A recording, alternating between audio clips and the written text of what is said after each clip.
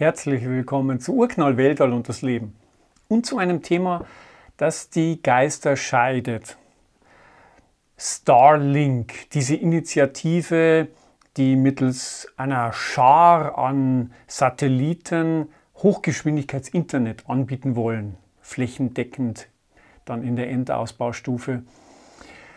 Die einen, naturgemäß, fürchten diese Geschichten, weil wir so schon genügend Probleme haben mit Weltraumschrott da draußen und insbesondere die Astronomengemeinde, die sieht natürlich schon hier ein bedrohliches Potenzial darin, jetzt in der ersten Stufe bis zum Jahresende schon 1584 Satelliten hochzuschießen. Das wird ja dann immer sukzessive immer weiter ausgebaut. Äh, Im ersten großen Schritt dann hin bis zu 12.000 Satelliten. Und dann ist die Rede in einem Endausbau bis zu 40.000 Stück, die da draußen ihre Bahnen ziehen sollen. Da machen natürlich viele Kollegen schon dicke Backen. Und wir haben hier in unserer Gemeinschaft, in unserem Team, da sind wir ja hinsichtlich Elon Musk und diesen Privatinitiativen, da gibt es ja schon unterschiedliche Meinungen auch. Das kam ja in einigen Videos schon deutlich zur Sprache. Aber speziell jetzt, wenn es um dieses Starlink geht, da sind wir doch schon alle sehr, sehr skeptisch. Wir wollen aber jetzt hier keine Meinung machen. Das ist ja grundsätzlich unser, unser großes Ziel, dass wir nicht Meinungen, dass wir nicht in, in, als Influencer auftreten, irgendwie äh, verbreiten, sondern dass wir informieren. Und genau das wird Peter Kroll machen in einem Heimspiel, aufgenommen natürlich in Sonneberg. Dort also wer ihn mal persönlich kennenlernen will, kann ja dort mal hinfahren, in das Museum dort, in das Astronomiemuseum. Sehr lohnend, hatten wir auch schon eigene Beiträge dazu, was es dort alles zu sehen gibt. Und er wird die Vor- und Nachteile mal beleuchten. Worum geht es überhaupt in der ganzen Sache? Was fürchten die einen? Was erhoffen sich die anderen? Und dann können Sie sich eine eigene Meinung bilden. Das ist viel wichtiger.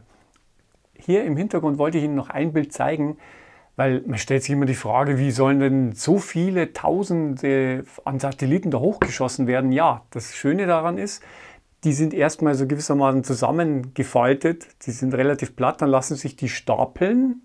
Sie sehen hier zwei große Stapel, ah, das, das sind dann 60 Stück, die jetzt hier in einer Kapsel auf einer Falcon 9 montiert sind. Und in, im Endausbau falten sich die dann auf und äh, werden in ihre Position dann verbracht. Aber auf die Art und Weise können Sie natürlich gleich mal hier fünf Dutzend auf einen, auf einen Streich hier hochjagen, gewissermaßen. Aber jetzt rede ich schon wieder viel zu viel über die Details. Peter Kroll wird das alles machen. Er wird es viel besser können als ich. Ich wünsche Ihnen viel Vergnügen dabei.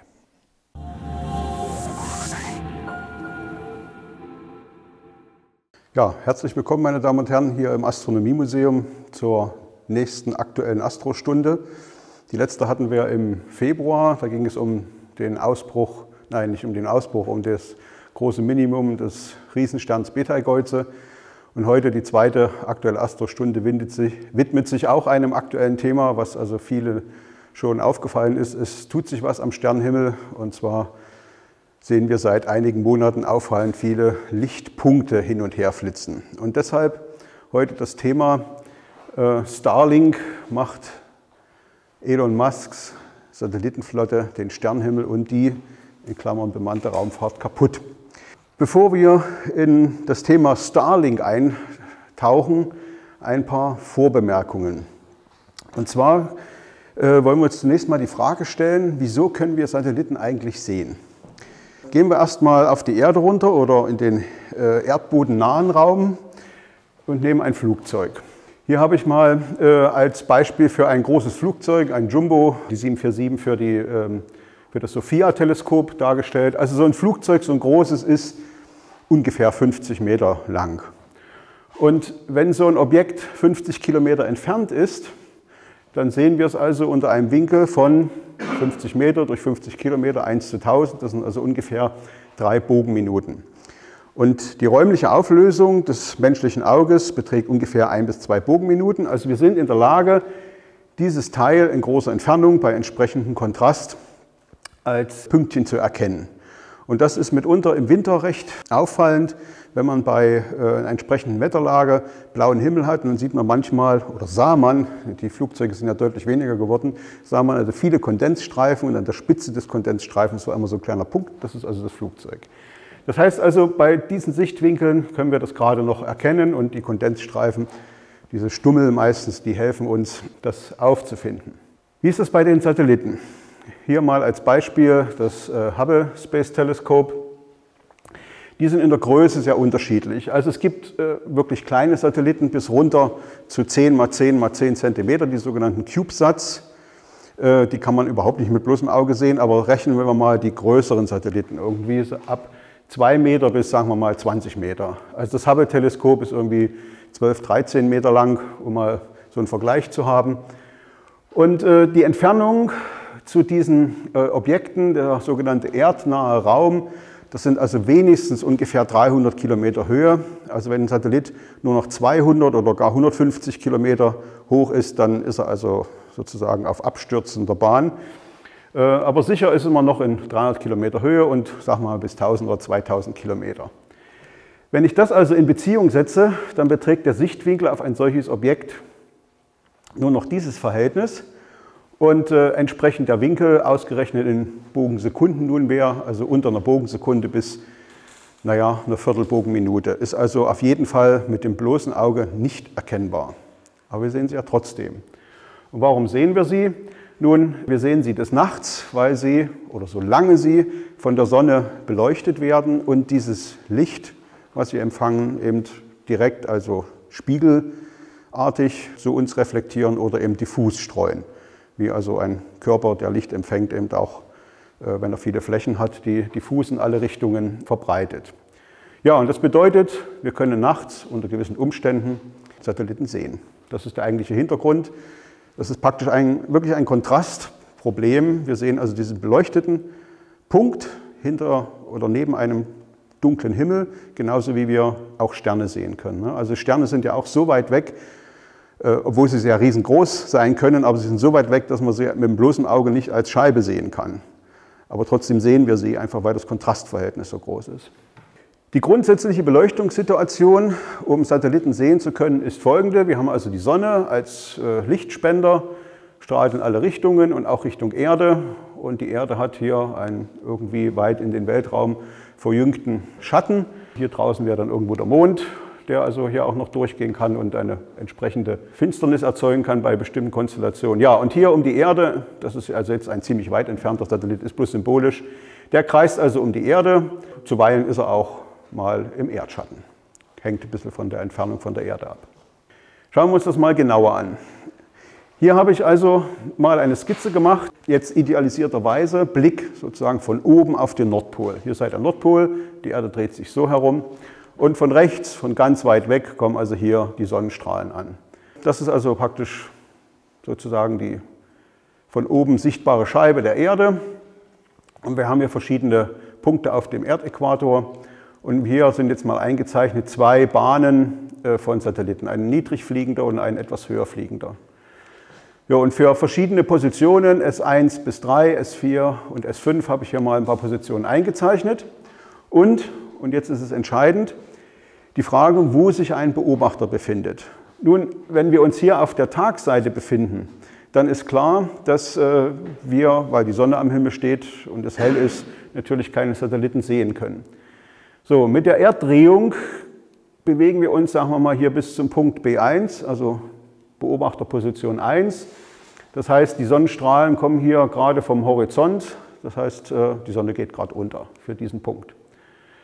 Da ist der Himmel immer noch so hell durch die Dämmerung, dass wir nichts sehen. Aber ein Stückchen weiter, wenn die Erde sich weitergedreht hätte, wir sind bei B2, wir liegen also schon im Schatten. Es ist schon dunkel geworden, die Dämmerung äh, ist vorangeschritten. Es wird also Nacht.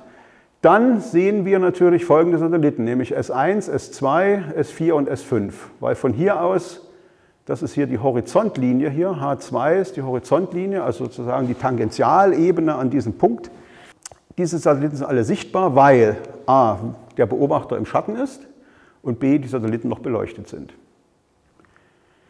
Natürlich bewegen sich die Satelliten, aber wir nehmen jetzt mal diese Position hier als fest an, ein Stückchen weiter hier, ein paar Stunden später, ja, oder eine Stunde später sagen wir mal, ist B, der Beobachter hier zu dieser Position gewandert, der Horizont entsprechend weiter hier. Das heißt, der Satellit ist nicht mehr sichtbar, der würde gerade unter- oder aufgehen, aber die beiden sind noch sichtbar. Ja, und bei B4 tief in, in der Nacht oder tiefer in der Nacht sind nur noch hochfliegende Satelliten zu erkennen. Und wenn wir richtig um Mitternacht sozusagen, dann sind auch diese Satelliten unter dem Horizont. Natürlich gibt es noch höher fliegende, große Satelliten, die man sehen kann, wobei natürlich man äh, beachten muss, dass je höher die Bahn des Satelliten ist, also je weiter weg er von uns ist, umso lichtschwächer ist er natürlich auch, weil das Licht äh, zwar hier, das Sonnenlicht hier gestreut wird, aber sich dann natürlich auch wieder mit 1 durch r Quadrat in alle Richtungen, von der, also 1 durch r Quadrat von der Intensität her in alle Richtungen äh, streut. Das heißt also, sagen wir mal hier, fünffache Entfernung, dann also nur noch ein 25. Licht im Vergleich von der zu der Bahn. Okay, jetzt gibt es noch einen wesentlichen Punkt, und zwar die Beobachtungsbedingungen im Sommer und im Winter. Hier ist nochmal die Konstellation aufgezeichnet. Also hier in der Richtung geht es irgendwo zur Sonne. Ich habe jetzt also hier mal eingezeichnet die Kippung der Erdachse. Das ist also die Position zu Sommersanfang. Wir wissen, äh, gegen die Erdbahnebene, die Ekliptikebene, ist die Äquatorebene ungefähr 23,5 Grad geneigt. Und deswegen ist also auch die Polachse, also die Rotationsachse der Erde, entsprechend geneigt. Ja, und hier habe ich jetzt mal in ungefähr 50 Grad geografischer Breite, nördlicher Breite, die Position von Sonneberg eingemalt. Also ist natürlich der ganze Bereich hier irgendwie Deutschland und Europa hier. Äh, und da sieht man, dass also im Sommer, weil wir selbst, das ist die Position von Sonneberg um Mitternacht, da sind wir also gerade mal so im Schatten drin.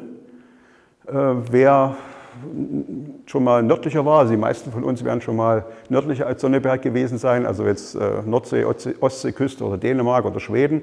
Dort ist dann die Dämmerung noch krasser, weil dann die Positionen hier sind. Das heißt also, man ist nur ganz wenig im Schatten und der Himmel ist noch so hell, dass man auch nichts sieht. Aber bei uns sieht man um Mitternacht praktisch alle diese Satelliten, die sich also hier in diesem Raumbereich befinden. Hier ist schon, schon der Schatten und das, wer das schon mal gesehen hat, wer die ISS schon mal gesehen hat, also die ISS ist eigentlich nicht zu übersehen und es gibt also im Internet verschiedene Quellen, wo man nachschauen kann, wann die ISS vorbeikommt. Die sieht man also im Westen irgendwie auftauchen als wirklich heller Stern, so hell wie die Venus manchmal zu sehen ist fliegt hier über den Himmel und verschwindet dann plötzlich, also geht nicht unter im Osten, sondern verschwindet dann im Erdschatten. Das geht auch nicht schlagartig, das, weil aufgrund der Erdatmosphäre ist das ein bisschen diffus. Und also innerhalb von wenigen Sekunden verschwindet dann der Satellit im Schatten und ist dann nicht mehr zu sehen. Die andere Konstellation haben wir im Winter.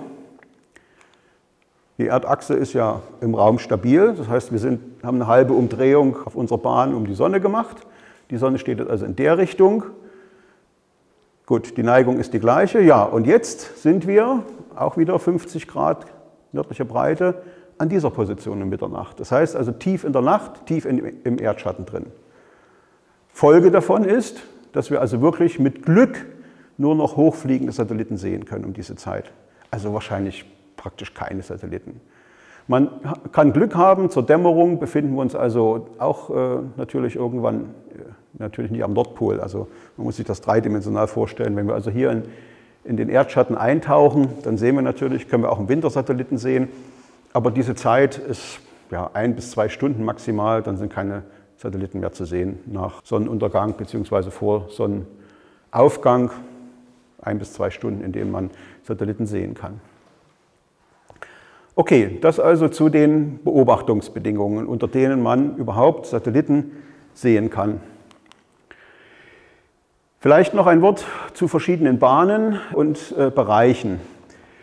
Die Satelliten, um die es heute geht, also die von Starlink, das sind alles Satelliten im LEO-Bereich, im Low Earth Orbit Bereich, also in den gering, in den äh, Bahnen mit geringer Höhe. Das ist also alles das, was also hier sehr nah um die Erde kreist also so 200 Kilometer bis 1000 oder 2000 Kilometer. Die Umlaufzeit ist ungefähr 90 Minuten. Und wenn die jetzt auf höhere Bahnen haben, dann kann das auch schon zwei Stunden oder länger als zwei Stunden dauern.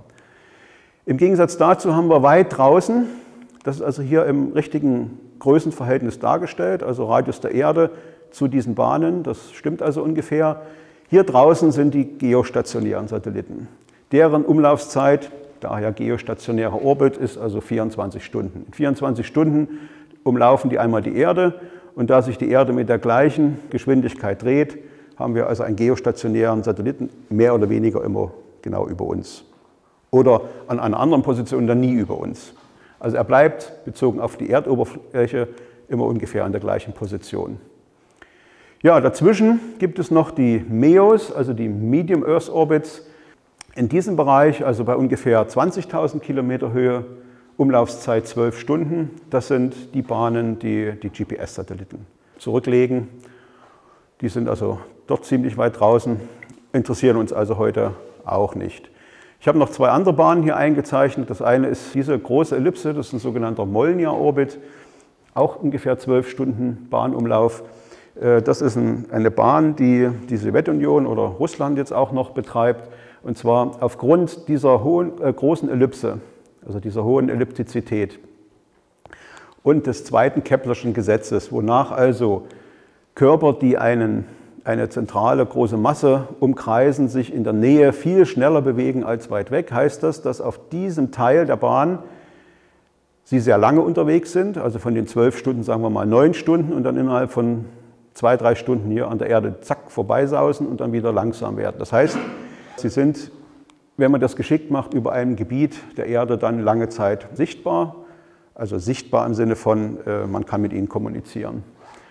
Und dann hier nochmal ein sogenannter Transferorbit. Das sind also Bahnen von Satelliten, die jetzt sag mal, auf eine geostationäre Bahn geschossen werden wollen. Bevor die dort oben ankommen, werden die also auf der Erdoberfläche gestartet mit einer Rakete und gelangen zunächst auf einen erdnahen Orbit. Und dann zündet nochmal die Raketen, der Raketenantrieb obwohl es hier, sagen wir mal, eine Kreisbahn ist und der beschleunigte hier auf so eine Ellipsenbahn und der Satellit würde dann natürlich wieder zurückkehren, wenn er hier so mehr Schwung gekriegt hat, aber hier oben zündet die Rakete nochmal und setzt ihn dann auf eine geostationäre Bahn.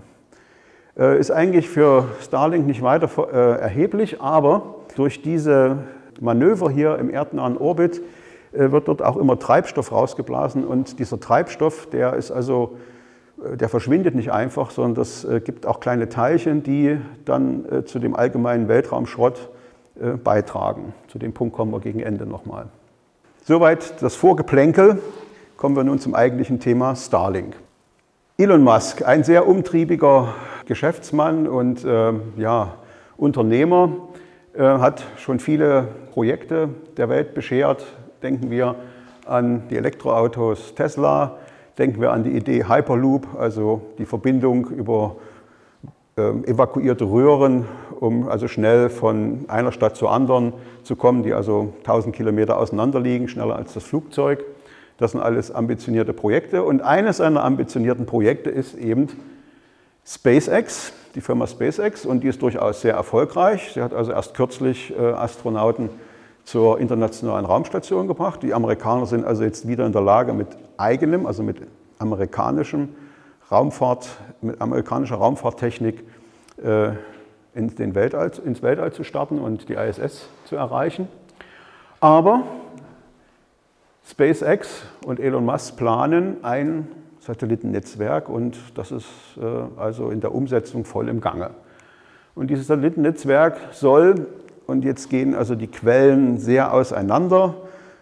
Dort liest man das eine, dort liest man das andere und auch bei SpaceX äh, selbst kriegt man äh, nicht unbedingt genaue Zahlen. Also irgendwas äh, zunächst mal 12.000 Satelliten, aber es ist auch schon von 42.000 Satelliten in der Planung die Rede. Und das Ziel dieses Netzwerkes ist es, ein schnelles Internet überall auf dem Globus zu erreichen. Also die Satelliten umkreisen sozusagen in diesem Netzwerk die ganze Erde, also praktisch über jeden Punkt der Erde befindet sich dann ein Satellit und mit dem kann man sich dann verbinden. Das wird nicht einfach so von einem Handy ausgehen oder von einem Computer, sondern man braucht da irgendwie eine Art äh, Terminal, eine Art kleine Bodenstation, die eine Antenne hat und die sich dann zu dem jeweiligen Satelliten, der sich über einem befindet, verbindet und dann die Information weiterschiebt zu dem nächsten Satelliten, bis die Information dort angekommen ist, wo sie wieder zum Boden runtergeht. Also eigentlich eine tolle Sache. Und äh, um das umzusetzen, sind also bisher schon mehr als 500 Satelliten in den Orbit geschossen worden. Das sind nämlich die, die wir sehen. Und äh, es heißt, ab 1000 Satelliten soll die ganze Sache schon profitabel sein. Weiß ich nicht, der, so ein Terminal soll irgendwie 800 Dollar kosten und die Nutzung irgendwie 80 Dollar im Monat, also praktisch 1000 Dollar im Jahr. Ist eine Hausnummer, aber wenn man irgendwo auf der Welt ist, wo man überhaupt kein Internet hat, ist das vielleicht ein bezahlbarer Preis, 1000 Dollar im, im Jahr. Für einen also durchaus äh, leistungsfähigen Link. Also es geht hier nicht um ein paar Kilobit pro Sekunde, schon, schon mehr. Ja, bis Ende dieses Jahres sollen also 1500 Satelliten gestartet sein. Und zunächst ist der Ausbau in den nächsten Jahren bis 4400 Satelliten geplant. Um das zu erreichen bis Ende des Jahres heißt das, dass also jeden Monat 60 äh, bis 120 Satelliten zu starten sind und mit den bisherigen Raketen, mit der Falcon 9, äh, sind also immer in einem Paket gleich immer 60 Satelliten raufgeschossen worden. Und diese Pakete von Satelliten, die sich dann anschließend auf einer Bahn verteilen, das werden wir nachher auch noch sehen. Und es ist aber in Planung, dass mit weiteren Satelliten, äh, mit weiteren, also mit stärkeren äh, Raketen, ähm, ich komme jetzt nicht auf den Namen, dann bis zu 400 Satelliten gleichzeitig ausgesetzt werden können, damit also der Aufbau des Netzes schneller geht. Ja, und ein wichtiger Punkt, wenn man also die Satelliten da hochbringt, ist auch, und darauf sind die äh, Starlink-Leute stolz, ein automatisches Deorbiting. Kaputter oder eben äh, ja, nicht mehr leistungsfähiger oder verbrauchter Satelliten oder wenn der Treibstoff zu Ende ist, dass sie immer Treibstoff brauchen, sehen wir dann gleich.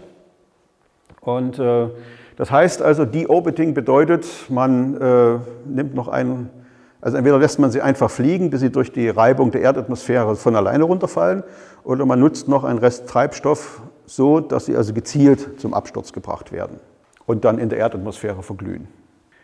Ja, dieses Satellitennetzwerk will ich noch mal etwas genauer vorstellen. Also hier auch noch mal in der richtigen äh, Skalierung, Erdradius und hier so nahe eigentlich noch sind diese beiden Bahnregionen, die SpaceX, äh, also die Starlink benutzt.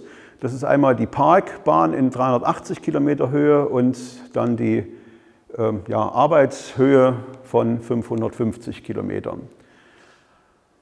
Also die Bahnneigungen gegenüber der Äquatorebene sind ungefähr 60 Grad. Da sehen wir nachher noch ein Bild, wie man sich das dann vorstellen muss. Und äh, die Bahnhöhen, also 380 Kilometer, ist die sogenannte Parkbahn.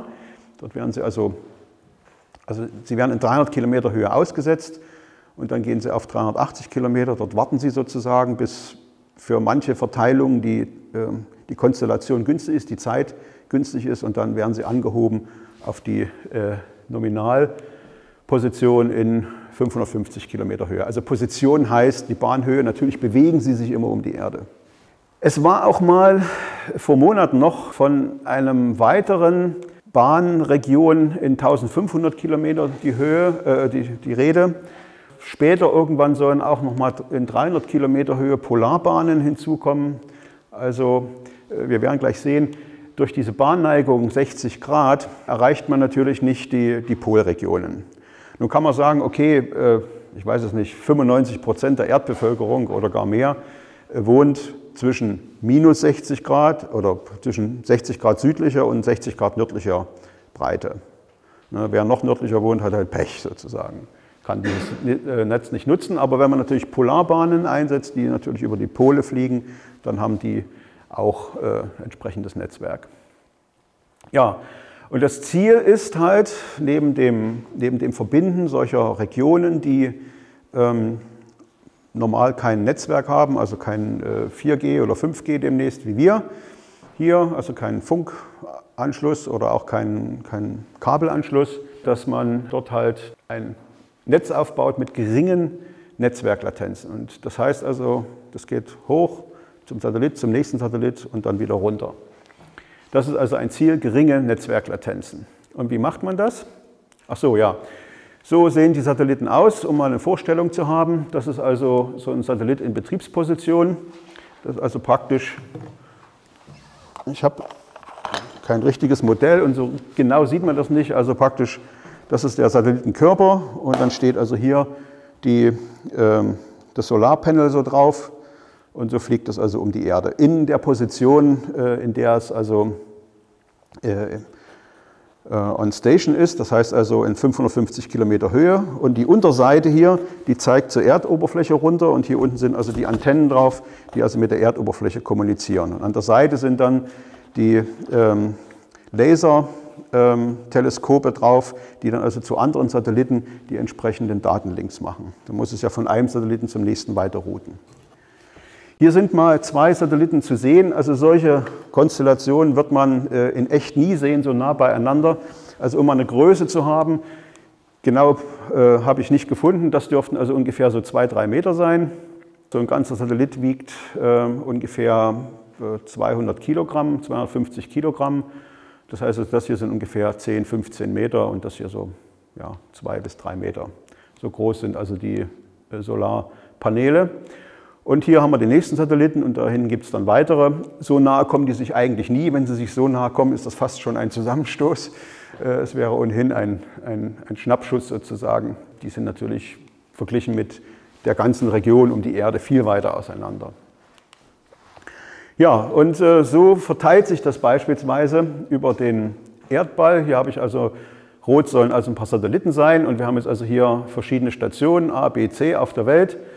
Und wenn jetzt also A mit B kommunizieren will, sagen wir mal B oder, oder am Anfang A mit B, dann weiß dieses Terminal bei A, wo ist der nächste Satellit, verbindet sich zu dem und der merkt dann, aha, wo soll es weiter hingehen, äh, die Daten, aha, nach B. Das heißt, er routet dann die Daten hier lang, dann war, was weiß ich, der nächste verfügbare hier, hier, hier und auf diese Weise geht das also schnell zu B und dort wird es wieder runtergefunkt. Ein paar ja, Minuten später oder sagen wir eine halbe Minute später ändert sich diese ganze Konstellation, weil sich die Satelliten ständig in ihrer gegenseitigen Lage verändern. Sie bewegen sich ja ständig um die Erde auf Kreisbahnen, jeder für sich. Und im nächsten Moment ist vielleicht das hier die kürzeste Route, um also von zwischen A und B zu kommunizieren.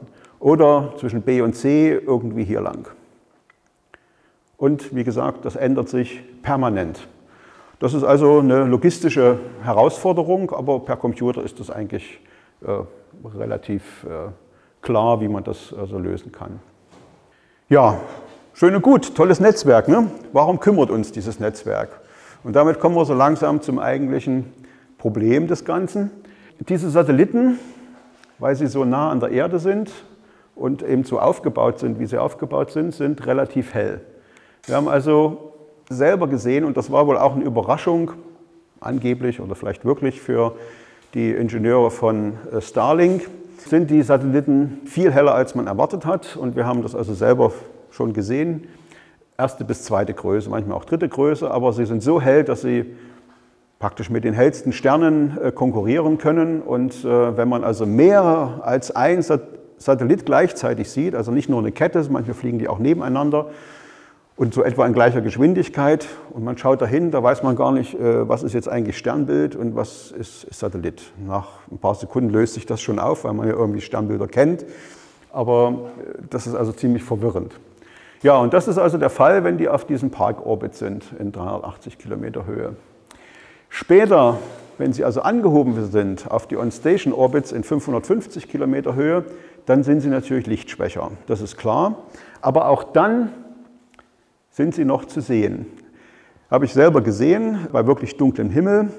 Es ist mir aufgefallen, da ging also ein relativ schwacher Satellit, fünfte, sechste Größe, irgendwie am Himmel entlang. Nun hätte das natürlich irgendeiner sein können. Aber ungefähr 30 Grad später kam noch so einer und dann kam noch einer und dann kam noch einer. Und dachte ich, aha, das ist also Starlink auf hohen Bahnen. Also eindeutig äh, dadurch zu identifizieren. Und es ist immer noch zu sehen mit bloßem Auge. Gut, es stört nicht so wirklich, wenn man jetzt den Himmel anschaut und sich orientieren will, da stören nur die hellen, aber die schwachen sind bei weitem nicht, nicht mehr zu sehen. Ja, und was auch aufgefallen ist, und das haben wir auch schon gesehen, zusammen hier mit verschiedenen im Raum haben wir darauf geachtet, bei manchen ja, an manchen Tagen, wenn also so eine frisch gestartete Teilflotte wieder unterwegs ist, dass es sogenannte Flares gibt, also Lichtausbrüche, ähm, Lichterscheinungen, also ein Aufleuchten für eine Sekunde, manchmal ein bisschen länger, äh, fast bis zur Venushelligkeit, also minus vierte Größe. Ja, und man sieht halt äh, diese Satellitenketten und äh, inzwischen hat man sich schon ein bisschen daran gewöhnt, aber als ich das das erste Mal gesehen habe, das war schon irgendwie verstörend, wenn da also so eine Kette alle so fünf bis zehn Grad auseinander anmarschiert kommt. Das sieht schon irgendwie eigenartig aus. Ja, und natürlich stört das auf astronomischen Aufnahmen, wenn die zufällig durchs Gesichtfeld wandern. Und äh, ja, was kümmert uns das? Wenn das jetzt schon so ist, was soll das dann erst werden? Äh, bei der schieren Anzahl, die später irgendwann mal ähm, in Aussicht gestellt ist. Und das ist, äh, glaube ich, das Problem dabei. Hier haben wir mal eine, als Beispiel eine Aufnahme unserer, einer unserer All-Sky-Kameras auf dem Dach. Was man hier sieht, ist sozusagen der gesamte Himmel über, über Sonneberg. Hier zur Orientierung der große Wagen. Hier ist der Polarstern. Hier haben wir den Mond, der überstrahlt alles ein bisschen und obwohl der Mond so gut zu sehen ist, sehen wir also hier diese Striche. Nun muss man dazu sagen, diese Aufnahme ist 20 Sekunden lang belichtet. Das heißt, in diesen 20 Sekunden hat sich der Satellit von da nach da, der von da nach da und so weiter bewegt. Und äh, ich werde gleich eine ein, äh, kleine Animation zeigen, da sieht man dann, wie sich das bewegt. Unter bestimmten Umständen sieht das dann auch so aus. Das heißt also, unter gewissen Konstellationen reflektiert die Unterseite des Satelliten so stark das Sonnenlicht, dass das also hier, hier zum Vergleich ist Sirius. Sirius ist der hellste Stern im Himmel. Also man muss sich mal verdeutlichen, wie das für eine, also das ist Sirius und ist 20 Sekunden lang belichtet. Und das hier ist also eine Sekunde belichtet und viel, viel heller. Also das muss also extrem hell gewesen sein. Nicht ganz so hell wie der Mond, okay, aber un, also auffällig. Das ist entsprechend diese Nacht. Wir werden gleich sehen, da kam die ISS durch und jetzt geht's los hier. Diese ganzen Ketten und man sieht das also so schön aufleuchten. Und auch später, was jetzt immer hier so kommt, das sind auch alles Starlink-Satelliten.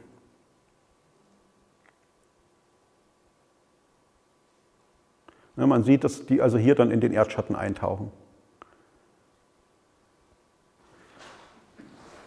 Vielleicht noch mal kurz zum Anfang. ISS kommt vorbei und dann geht's los.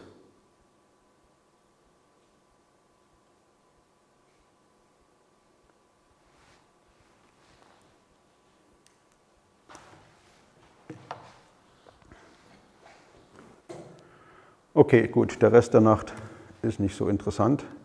Was man auch sehen kann, ist, ähm, wenn so, ein, so eine Teilflotte von 60 Satelliten ganz frisch gestartet ist und man hat Glück, dass die Bahn ein, zwei Tage nach dem Start über den Beobachtungsort hinweggeht. Und das war der Fall im April. Da hat die Denise eine Aufnahme gemacht. Dieser Strich hier, das sind 60 Satelliten. Also das ist auch eine Aufnahme, die ein paar Sekunden gedauert hat. Und die saßen, also, waren also so nah beieinander, dass man sie mit dem Auge nicht trennen konnte. Aber man sah, dass es so eine Punktwolke war, die sich gemeinsam über den, Weg, über den Himmel bewegt hatte. Es erinnerte mich irgendwie so an, diese, an die Kindervorstellung, dass wenn der Weihnachtsmann mit dem Schlitten und so einem Feuerschweif über den Himmel fährt, so ungefähr war das, nur ohne Weihnachtsmann und ohne Schlitten, also nur der Feuerschweif sozusagen. Das war eine sehr eindrucksvolle Sache. Später verteilen die sich, die Satelliten, also verteilen sich entlang dieser Bahn und dann kommt das raus, was ich vorhin gerade gezeigt habe. Ja, nicht nur wir sehen das. Und dieses Foto ist also ein offiziell von der Internationalen Astronomischen Union publik gemachtes Foto. Das ist also eine Aufnahme mit dem 4-Meter-Teleskop auf dem Cerro Tololo in Chile. Und man sieht also hier äh, insgesamt 29 Spuren hindurchgehen. Oder 23, weiß ich nicht genau. Ja, das ist also eine Aufnahme mit einem großen, durchaus äh, teuren Teleskop oder auch in der, äh, im Betrieb dieser Teleskop, der, der, Betrieb dieser Teleskope ist natürlich, äh, kostet natürlich auch Geld. Es ist also zu befürchten, dass die großen Teleskope, die also lichtschwache Objekte aufnehmen können und sollen, dass die also künftig enorm dadurch gestört werden, weil immer irgendwelche Satelliten langkommen. Die haben dann mal eine Zeit von ein paar zehn Sekunden oder vielleicht ein paar Minuten, wo mal keiner langkommt. Das steht zu befürchten. Hier nochmal eine andere Aufnahme. Äh, eigentlich war das eine Aufnahme gedacht, für, um diese schwachen Satellit äh, Galaxien hier aufzunehmen. Und da marschierten also die Starlink-Satelliten durch. Eine Aufnahme des Lowell Observatoriums aus Arizona. Aber es ist nicht nur die großen Teleskope, auch wir haben, das ist eine Aufnahme, die Herr Fürtig hier mit unserer digitalen Himmelsüberwachung gemacht hat. Hier sind also diese Satelliten gerade auf dem Weg in den Schatten oder, oder kommt da raus, wahrscheinlich gerade in den Schatten. Die hier sind zu sehen, weil sie auf, tieferen, auf höheren Bahnen sind und die hier sind, also das ist auch eine Aufnahme, die dauert drei Minuten und in diesen drei Minuten sind die also hier nacheinander immer so ein bisschen versetzt hier entlang marschiert. Also es ist nicht bloß auf den großen Überwachungsaufnahmen zu sehen, sondern auch auf den tiefen Aufnahmen, wenn man Pech hat. Ja, wir können uns jetzt mal überlegen, wie kommen eigentlich diese äh, Reflexe zustande und diese ganzen Punktketten. Nun, ich hatte schon gesagt, also diese Satelliten werden immer gruppenweise im Satz von 60 Stück mit einer Rakete hochgebracht, dann freigesetzt und bewegen sich dann sozusagen mit dieser Anfangsgeschwindigkeit entlang dieses, dieses Orbits und verteilen sich dann langsam dort. Das erzeugt die Ketten. Und da gibt es eine wunderbare Animation auf der Seite Heavens Above. Und man sieht also hier animiert, wie solche Ketten um die Erde kreisen.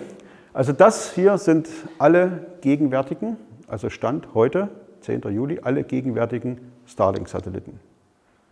Etwas mehr als 500. Ne, die meisten haben sich schon irgendwie verteilt, aber man sieht, dass manche sich noch nicht so richtig verteilt haben. Hier gibt es immer solche Ketten hintereinander. Und hier haben wir sowas. Ne? Also hier kommt sozusagen, das ist jetzt etwas langsamer, aber das wird heute Abend, wenn es dunkel ist, kommt so eine Kette lang. Wenn wir Glück haben, genau über, über Sonneberg.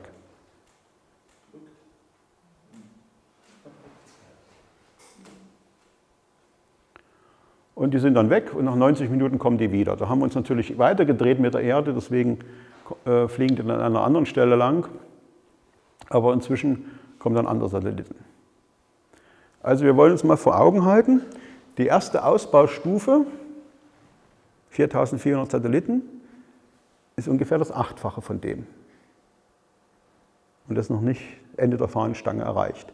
Bei 40.000 Satelliten und mehr ist es also dann das 80-fache von dem zu erwarten. Ja, also wir wissen, wie die äh, Ketten zustande kommen. Jetzt die Frage der diffusen Reflexionen.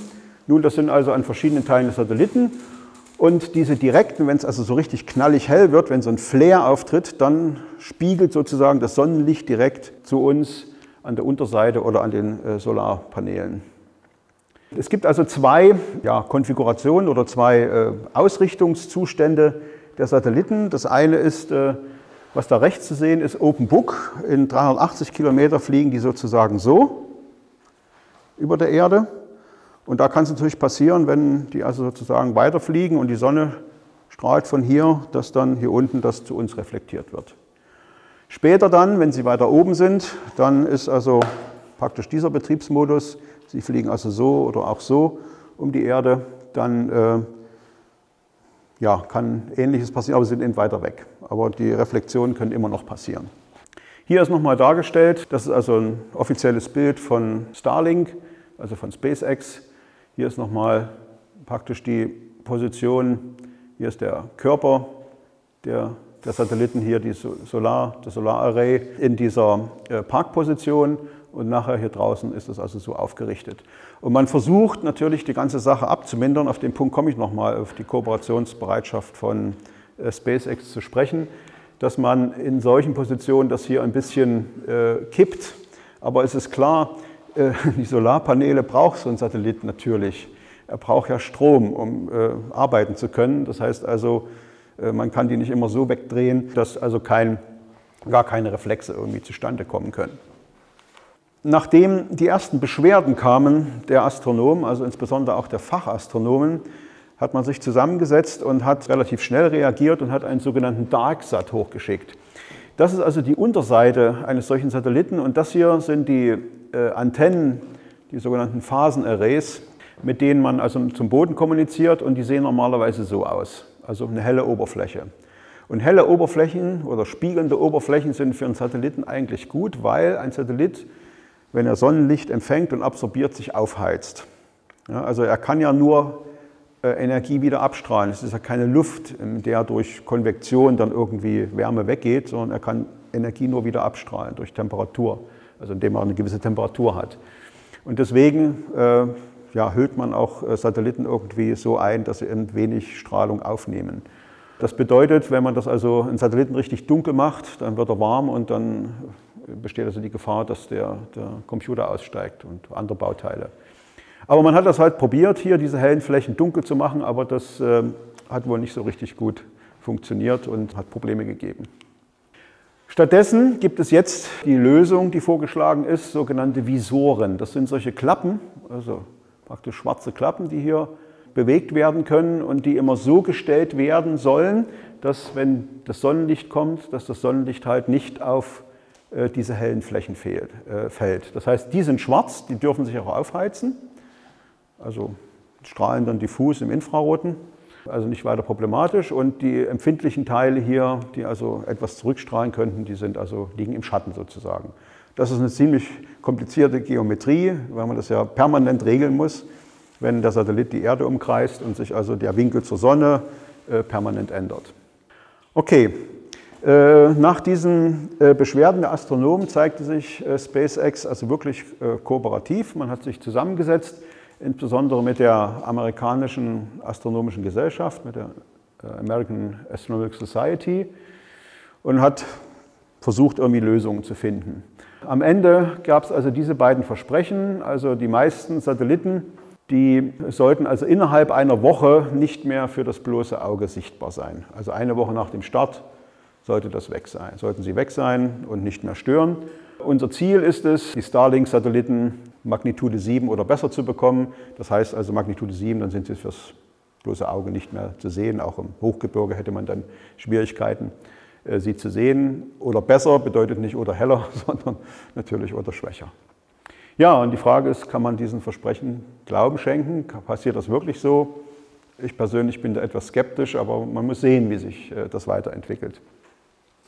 Man kann es sowieso nur sehen, wir haben ja keinen Einfluss direkt darauf.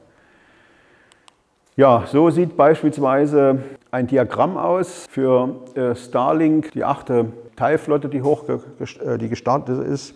Aufgetragen ist hier die Bahnhöhe und hier der, auf der Achse die Zeit in Tagen seit Start. Das heißt, sie werden hochgebracht, hier auf 390 Kilometer Höhe, werden dort ausgesetzt und da passiert erstmal nichts und man sieht, dass sie also so langsam herunterfallen. Was klar ist, weil sie sich, jeder, sie bewegen sich, sie stoßen mit den Restmolekülen der Erdatmosphäre zusammen, werden dadurch gebremst und spiralen sozusagen runter. Und hier an diesem Teil, an dieser Stelle, also nach praktisch dreieinhalb Tagen ungefähr, zünden also für einen gewissen Teil dieser Satelliten die Triebwerke und die werden also hochgebracht auf die, auf die Parkposition von 380 äh, Kilometer. Die Zeit von hier bis hier sind also ungefähr zwei Wochen. Und hier entsprechend den Rest der Flotte. So schnell geht das und äh, man vergleicht es also mit dieser versprochenen einen, einen Woche. Aber gut, wollen wir jetzt nicht pingelig sein. Wenn das so hier hochgeht und dann auch in die 550 Kilometer Höhe recht schnell geht, dann sind sie natürlich alsbald weg. Wobei, wenn das wirklich mal ausgebaut ist, auf den Punkt kommen wir noch, wie viele Satelliten dann trotzdem immer sehr hell zu sehen sind. Ja, und so sieht dieses Netzwerk aus. Äh, die Animation habe ich schon gezeigt. Also das ist hier die Quelle heavensabove.com, also eine super Webseite, die also sich auf das Wesentliche konzentriert, ohne Schnörkel, aber wirklich die, die Information ist gut, sehr gut aufbereitet. Und hier sieht man also praktisch diese Ketten von Satelliten um den Globus verteilt. Und die Polregion hier ist frei, weil eben die Bahnneigungen bloß bis 60 Grad gehen und entsprechend der Südpol auch, den sieht man hier nicht, ist hier nicht dargestellt. So verteilen sich dann mal ja, ein paar tausend Satelliten. Ich will mal noch Folgendes zeigen in der Animation. Und zwar gibt es von der ESO noch eine Animation. Und zwar ist das hier eine Berechnung, welche Satelliten, also das ist, wenn ungefähr 10.000, 12.000 Satelliten von Starlink äh, im Orbit sind, äh, für die Station Brüssel. Also 50 Grad nördliche Breite, ist ungefähr so wie Sonneberg, 50,4, also trifft für Deutschland irgendwie ganz gut zu. Was sehen wir hier? Wir sehen einmal den aktuellen Himmel über Brüssel. Das, was hier grau oder schwarz eingefärbt sind, sind äh, unbeleuchtete Satelliten. Das, was gelb ist, sind beleuchtete Satelliten. Je größer der Kreis ist, umso heller ist der Satellit, je kleiner, umso schwächer, abhängig von der Entfernung beispielsweise. Was sieht man hier? Hier sieht man immer, es geht 18 Uhr los, da sind viele beleuchtet und die verschwinden dann alle in den Schatten. Jetzt haben wir es Mitternacht und die Sonne kommt wieder von der Seite, man sieht das richtig, beleuchtet nach und nach die Satelliten und dann geht das wieder von vorn los.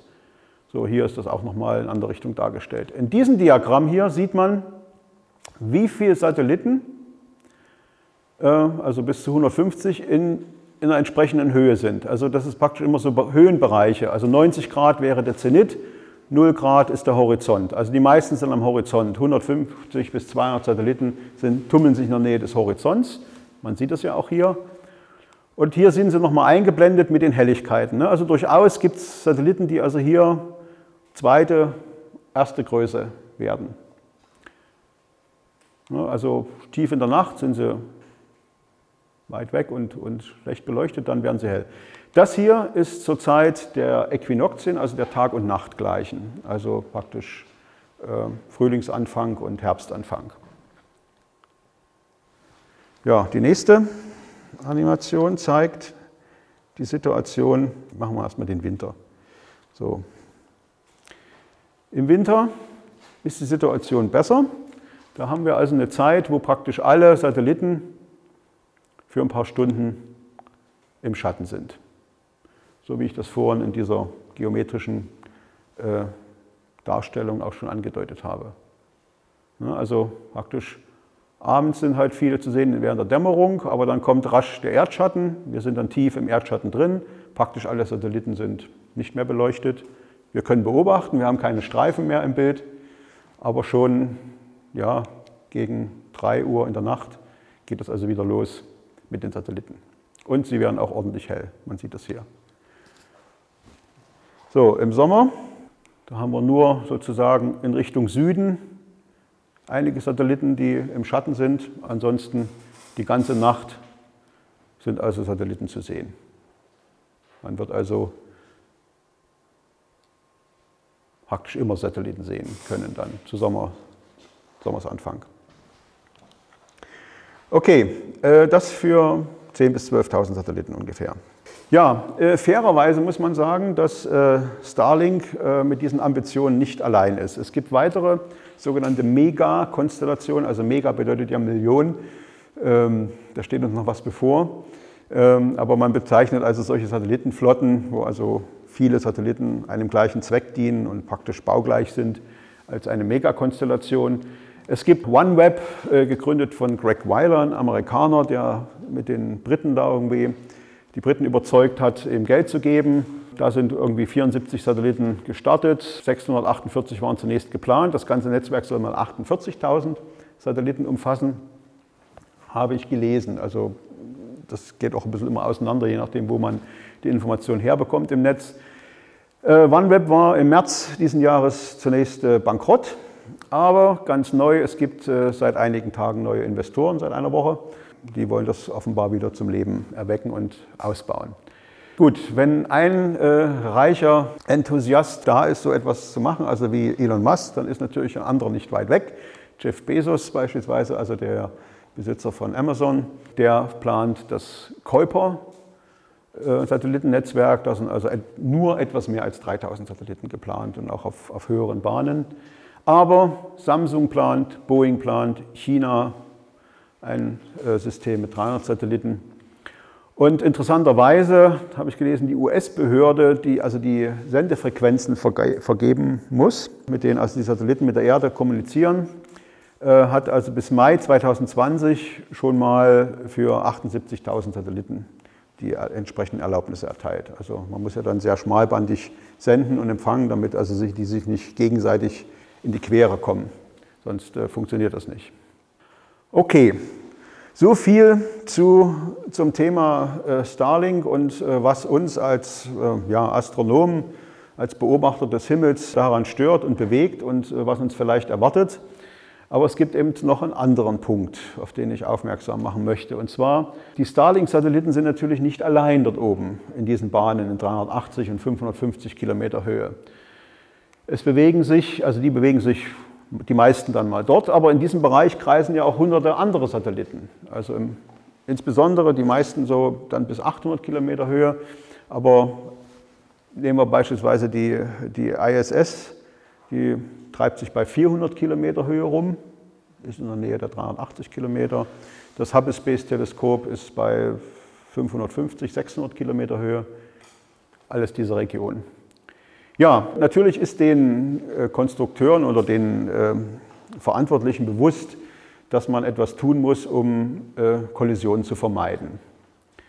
Und äh, die beste Kollisionsvermeidung ist natürlich, keinen weiteren Satelliten hochzuschicken, das ist klar. Aber die Idee ist, dass also solche Zusammenstöße durch aktive Regelung vermieden werden sollen. Man muss dazu sagen, dass also die Amerikaner und die anderen ja, führenden Raumfahrtnationen ziemlich genau Buch führen über das, was da oben die Erde umkreist. Also es gibt da Verzeichnisse über den, die Satelliten und über ausgebrannte Raketenstufen und so weiter. Da ist also alles irgendwie größere und auch kleinere verzeichnet. Das geht runter bis ungefähr 5 bis 10 Zentimeter Größe. Das ist dann halt irgendwie Weltraumschrott. Man kann also, wenn man das, diese Teile überwacht, vorausberechnen, aha, zu einer gewissen Zeit kommt einem ein gewisses Teil irgendwie relativ nahe, mach mal lieber ein Manöver. Und so ein Manöver heißt dann eigentlich, dass also die, äh, das Triebwerk gezündet wird, also vielzeitiger. Es ist nicht so, aha, da kommt was und jetzt weiche ich mal irgendwie aus, sondern man muss also manchmal etliche Bahnen vorher den Satelliten ein bisschen anheben oder ein bisschen äh, absenken. Und wenn man einen Satelliten absenkt, dann dreht er sich natürlich schneller um die Erde. Das heißt, er ist an der kritischen Position etwas eher, bevor sozusagen das äh, anderes Stück kommt und wenn man ihn anhebt, dann ist er langsamer. Das heißt also, die Gefahr fliegt vorbei und erst dann kommt der Satellit. So kann man sich das ungefähr vorstellen. Ja, und es gibt dann natürlich auch noch den Weltraummüll kleinerer Größen. Also alles, was unter 10 cm ist, 5 cm, 1 cm, da gibt es nur Abschätzungen. Wir, bleiben, wir kommen auf den Punkt nochmal genauer zurück. Ja, und die Frage ist, bleibt dieses ganze System stabil? Man muss also ständig sozusagen das überwachen und gegenseitig ausregeln. Und je mehr das werden, umso komplizierter wird das. Man kann sich überlegen, dass die Zahl der Begegnungen oder der Zusammenstöße quadratisch wächst. Also wenn wir, jetzt brauche ich die Tafel, wenn wir zwei Satelliten haben, wie viele mögliche Begegnungen sind es? Es ist eine Begegnung. Haben wir drei Satelliten, dann gibt es schon drei. Haben wir vier Satelliten, dann gibt es schon sechs Möglichkeiten. Haben wir fünf Satelliten, gibt es schon zehn Möglichkeiten und so weiter. Das steigt also quadratisch an. Also wenn man die Zahl der Satelliten, ähm, jetzt haben wir also 500 und dann ver-80-facht, dann haben wir also schon ja, also fast 10.000 Möglichkeiten, dass sich also nur die Starlink-Satelliten irgendwie gegenseitig ausweichen müssen. Von anderen mal ganz zu schweigen. Ja, und äh, man bedenke auch, dass die Relativgeschwindigkeiten im Durchschnitt ungefähr 12 Kilometer pro Sekunde sind. Die typischen Bahngeschwindigkeiten sind 8 Kilometer pro Sekunde. Und äh, im Extremfall kommen sich also zwei Satelliten entgegen. Dann haben wir eine Relativgeschwindigkeit von 16 Kilometer pro Sekunde. Oder einer holt den anderen ein, dann kann es natürlich auch viel geringer sein. Aber im Durchschnitt sind es ungefähr 12 Kilometer pro Sekunde. Nicht pro Stunde, sondern pro Sekunde. Vergangenes Jahr habe ich an der Sternwarte in Suhl einen schönen Vortrag gehört von Carsten Wiedemann von der äh, TU Braunschweig, der sich also mit dem Problem des Space Debris, also des Weltraummülls befasst. Und der hat also Material ausgeteilt und da habe ich also einiges entnommen und der ist folgendes zum Beispiel. Also Objekte im erdnahen Bereich, ja, Neo-Bereich, also einige äh, 100 bis 1000, 1500 Kilometer Höhe, gibt es also ungefähr 24.000 Objekte größer als ein Meter. Die sind alle katalogisiert, die sind alle überwacht. Darunter finden sich natürlich auch Spionagesatelliten, die stehen in den Katalogen nicht drin oder nur in gewissen Katalogen. Sie sind natürlich auch beleuchtet von der Sonne und äh, ja. Dann gibt es ja, kleinere Teile, bis 10 cm, 34.000 ist noch nicht so aufregend. aber dann wird es mehr. So, also größer als 5 cm sind schon 70.000, also praktisch zwischen 5 und 10 cm verdoppelt sich das schon mal. 1 cm oder größer bis 5 cm Größe sind es schon fast eine Million. Ja, bei Millimeter sind wir schon bei ja, über 100 Millionen und noch kleiner, ein Zehntel Millimeter, dann sind es schon Billionen. Also äh, unwahrscheinlich viel. Das ist praktisch ja, wie, wie, wie Sandkörner, ne? die da also rumfliegen. Ja, es gibt äh, in der Raumfahrt zwei historische Kollisionen bis jetzt. Und zwar 2007 haben die Chinesen einen ihrer eigenen Satelliten mit einer Rakete abgeschossen. Und das hat also die Zahl der gesamten Bruchstücke schlagartig um 30 Prozent erhöht in dem Bereich. Und dann gab es einen Vorfall 2009, zwei Kommunikationssatelliten, ein russischer und äh, einer aus diesem Iridium-Netzwerk. Äh, da hatte man ein paar Tage vorher eine Warnung, dass, da was, dass sie sich sehr nahe kommen könnten. Und dann war klar, dass sie sich noch näher kommen könnten. Und auf einmal verstummte Iridium 33. Wenige Stunden später hat man dann gesehen, hoppla, es gibt also auf den ehemaligen Bahnen von Kosmos und Iridium große Trümmerwolken, also ganz viele Teile, also ein paar hundert Teile sind da jetzt. Also die hat es wirklich sehr zentral getroffen und die hat es zerlegt. Äh, man muss auch beachten, dass bei so einer Kollision 12 Kilometer pro Sekunde, so sausen die aufeinander. Da ist also die kinetische Energie und der Impuls in der Richtung so groß, dass die also sozusagen gegen, durcheinander, also einander durchmarschieren.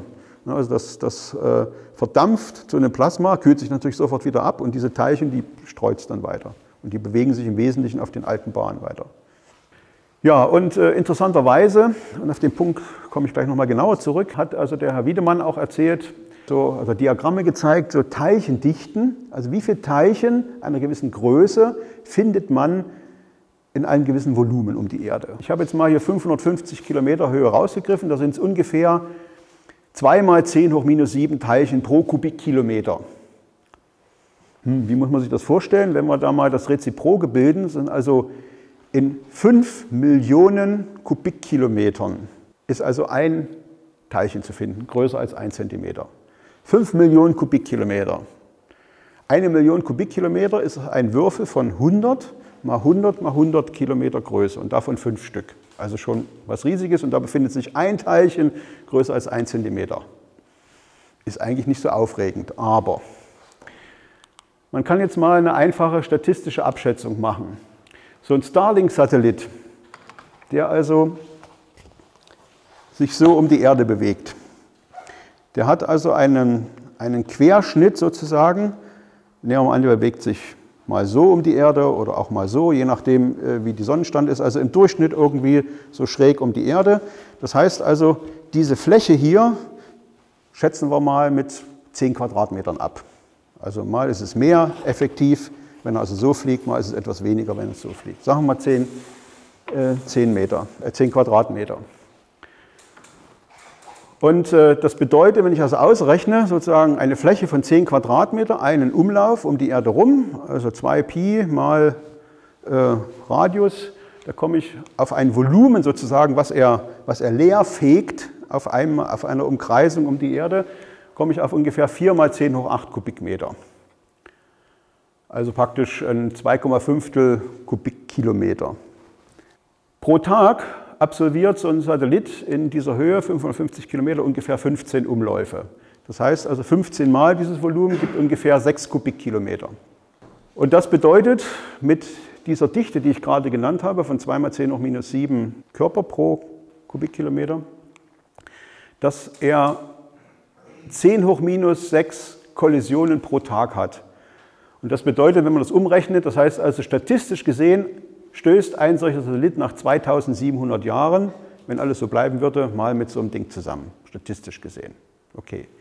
Nun haben wir aber nicht bloß einen Satelliten, sondern wir haben irgendwann mal 40.000 dieser Satelliten. Das bedeutet, 40.000 Satelliten kollidieren, also von diesen kollidieren 15 pro Jahr mit einem solchen Teilchen.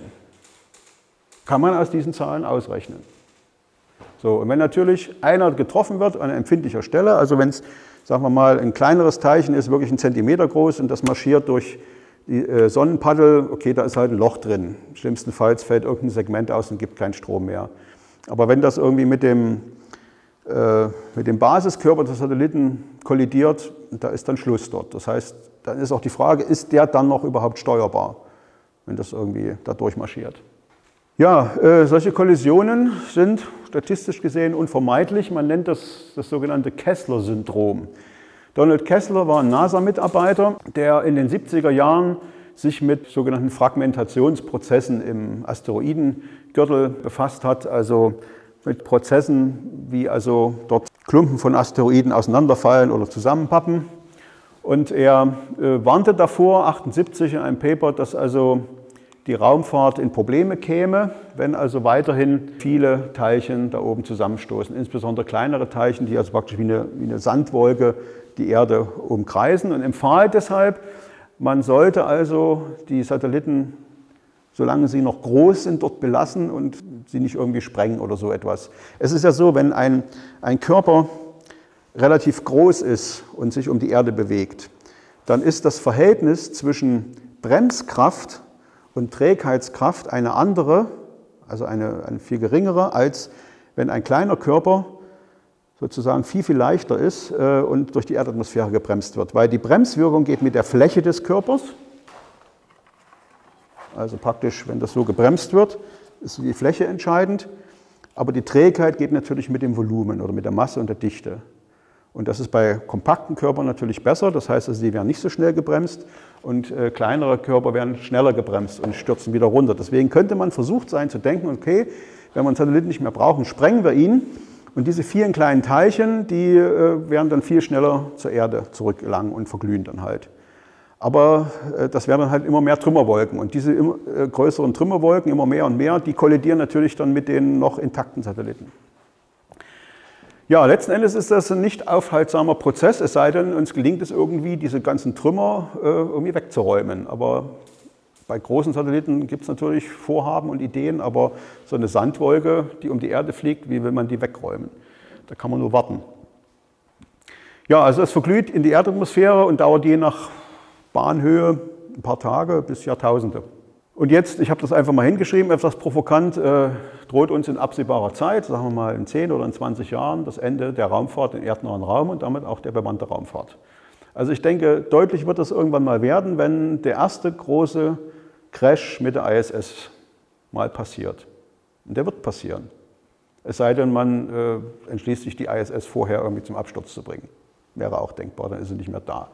Aber wenn da mal was ist und man ich meine, es ist jetzt schon so, dass die ISS immer mal Manöver äh, fahren, fliegen muss, anheben, absenken, um also einem bekannten Teil auszuweichen.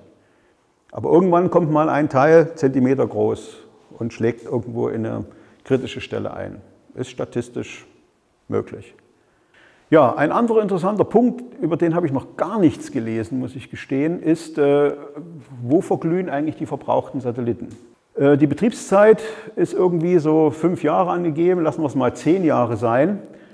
Und äh, wenn man also ein Satellitennetzwerk von 40.000 Satelliten betreiben will, also permanent betreiben will, und die nur so eine Betriebszeit haben, das heißt also müssen pro Jahr 4.000 bis 8.000 Satelliten nachgeliefert werden. Nur das Nachliefern kann man machen. Man startet also immer wieder Raketen, die also 60 oder meinetwegen 400 Satelliten in einem Stück dabei haben und man füllt das sozusagen immer auch mit modernerer Technik auf. Das ist eigentlich keine schlechte Idee. Die Elektronik äh, entwickelt sich weiter, die äh, Möglichkeiten der Computer werden besser, auch die im, im Orbit. Und äh, so kann man also immer mit neuer Technik für immer bessere, ein besseres Netzwerk sorgen. Eigentlich keine schlechte Idee. Aber man muss dann auch die alten wieder entsorgen. Und das bedeutet auch, dass also pro Woche dann irgendwie ja, um die 100 plus minus Satelliten zum Absturz gebracht werden müssen, pro Woche. Also 15 bis 20 pro Tag oder bis 30 pro Tag. Und die Frage, wo stürzen die dann ab? Äh, es ist ein Versprechen von äh, Starlink, von SpaceX, dass die Satelliten so gebaut sind, dass also nichts übrig bleibt, also nichts auf den Boden fällt, aber schauen wir mal. Wenn der Satellit noch genügend Treibstoff hat, um noch zu manövrieren. Da kann man sich auch vorstellen, okay, der wird so zum Absturz gebracht, dass er über den Ozeanen, meinetwegen über den Pazifik runterkommt und dort verglüht, wo niemand weiter wohnt und Dass er auf dem Schiff fällt, ist also sehr unwahrscheinlich. Wenn das aber irgendwo passiert, also wie gesagt, ich habe darüber nichts gelesen irgendwo, wenn der Absturz irgendwo ist, dann ist statistisch gesehen, weil Deutschland hat ungefähr ein Tausendstel der Fläche der Erdoberfläche, dann haben wir also fünf bis zehn Abstürze pro Jahr über Deutschland zu sehen. Gibt bestimmt interessante Feuerkugeln und vielleicht fällt ja auch mal was runter. Müssen wir mal sehen. Es wird spannend jedenfalls. Damit bin ich eigentlich am Ende meines Vortrages angelangt. Ich möchte noch mal kurz zusammenfassen und äh, hier meine Meinung kundtun. Man mag das anders sehen. Also zunächst einmal ist das natürlich ein, ein ambitioniertes Hightech-Projekt, gar keine Frage. Also, sich, also so etwas zu konzipieren und auch durchzuführen, das ist schon eine, eine Leistung, keine Frage. Und äh, ich bin also auch äh, durchaus technikaffin. Ich, ist schon eine tolle Sache eigentlich, Komma aber. Meine Vermutung ist, äh, dass es eigentlich gar nicht so sehr darum geht, äh, Internet weltweit verfügbar zu machen, als vielmehr äh, Business-Datenübertragungen schnell zu machen.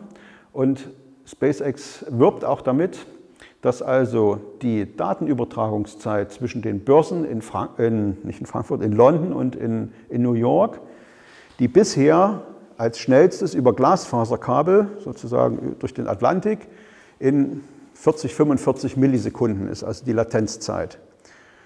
Wenn man jetzt über die Satelliten geht, das ist ja jedes Mal mit Lichtgeschwindigkeit zum Satelliten und von, also Funkwellen, auch Lichtgeschwindigkeit, gut, ein bisschen gebremst durch die Erdatmosphäre, aber das vernachlässigen wir mal. Und dann außen das Weiterrouten ist jetzt nicht der kürzeste Weg, aber eben doch so schnell, dass das also ungefähr nur noch 20 bis 25 Millisekunden dauert. Also der Unterschied sind 15 bis 20 Millisekunden, sagen wir mal.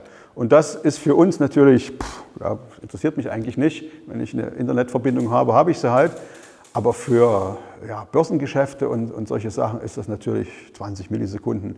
Das ist ein Vermögen, was man da gewinnen kann oder verlieren kann. Also ich glaube, dass also der eigentliche Auslöser, die eigentliche Idee dahinter ist, äh, diese Datenübertragung schneller zu machen. Und das geht natürlich, wenn man das über Satellit machen will, nur mit einem Netzwerk, was also niedrig fliegt, sonst geht das nicht. Wenn die Satelliten höher sind, dann dauert es ja wieder länger. Man muss also ein niedrig fliegendes Satellitennetzwerk haben. Und die Satelliten können ja nicht stehen bleiben, das heißt, sie müssen sich bewegen. Und damit immer Satelliten verfügbar sind, brauche ich ein solches dichtes Netzwerk.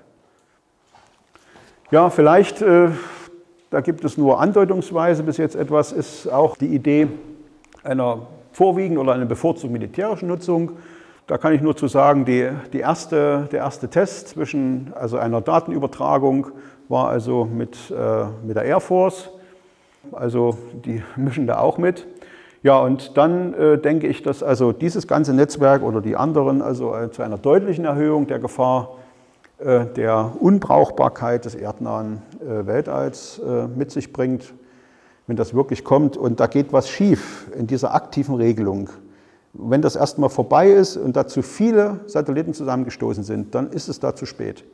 Dann kann man auch die, die da noch fliegen, nicht mehr retten, weil von einem einzelnen Satelliten, da kann ich ausweichen.